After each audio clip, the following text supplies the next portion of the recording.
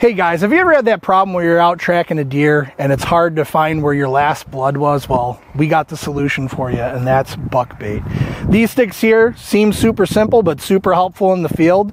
They're reflective. You stick them in the ground where you see last blood, or so you can see the trail that it's running on, and uh, makes it that much more easy to either pick it up in the morning or to see that pattern of where that deer might be heading in, in the direct Check buck baits out today.